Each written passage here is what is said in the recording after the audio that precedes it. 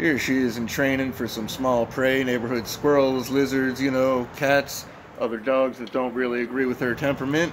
And she has herself a good one.